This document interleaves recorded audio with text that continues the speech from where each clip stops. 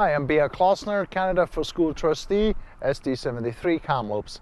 And today we're out here in uh, Westsyde, at what is now Westsyde Neighborhood Center, but with, uh, what actually used to be the Westsyde Elementary School. Now, I used to live out here, and this school was closed in 2006. And before we closed the school, there was a big public meeting here with the Board of Education, and I was actually at that meeting. And the response from the public here was, you can't close this school, we're gonna need this school, give it a few years. Now 10 years forward, the public was right. Because what we have now, we have a whole lot of students crammed in too few schools and in portables, and these schools need to be open.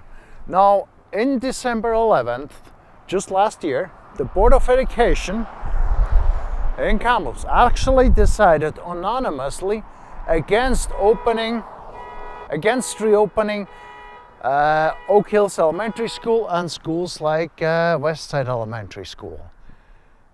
Uh, no, I, I don't understand that. If we have too many students, too few schools, we gotta open schools. Will make sense, you think. Um, if elected, I will fight to get these neighborhood schools open, that we have proper spaces again and uh, proper staffing for the, for the kids what, what I see here is the attitude is if you come up with a good idea uh, today, and I see that with City Hall often as well, you come up with a good idea with something that needs to be done, and everybody's gonna say, Yeah, that's good, that is great, and we'll find 16 reasons on why not to do it. I, I wanna change that idea. I give you a different attitude. You have a good idea, we have something that needs to be done.